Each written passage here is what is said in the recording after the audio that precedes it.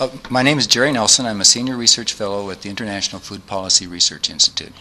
So I, I, think there are a couple of important points that have come out of this meeting so far. The first one is that a growing consensus of the importance of including agriculture in any in Copenhagen outcome. That was a relatively new thing, and so there's a lot of work to do to catch up. The second thing is that we can't wait for adaptation expenditures to start in the agricultural sector um, until we have a final outcome. We really need to start right now. And I think what we found is that there are some key uh, items on which most of the participants, maybe even all the participants, agree that we need to spend money. One of them is uh, better research on agricultural technology and dissemination of that research around the world. Part of it is just collecting the research information that we have now, but then beginning the funding of doing new research.